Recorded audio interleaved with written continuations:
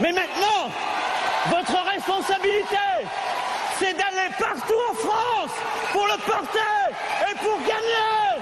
Ce que je veux, c'est que vous, partout, vous alliez le faire gagner parce que c'est notre projet. Vive la République Vive la France